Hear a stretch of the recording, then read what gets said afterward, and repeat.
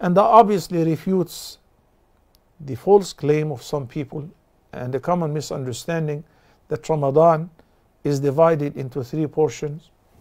The first portion is for mercy, first one third, and the second is for forgiveness, and the third is for itq or release to be free from hellfire. No.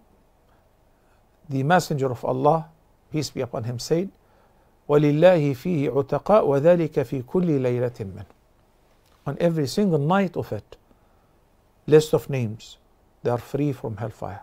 Hellfire will never touch their flesh.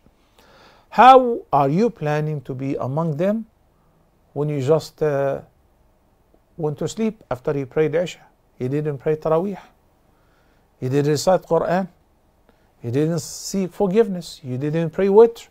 You didn't invoke Allah to be pardoned and to be freed from hellfire.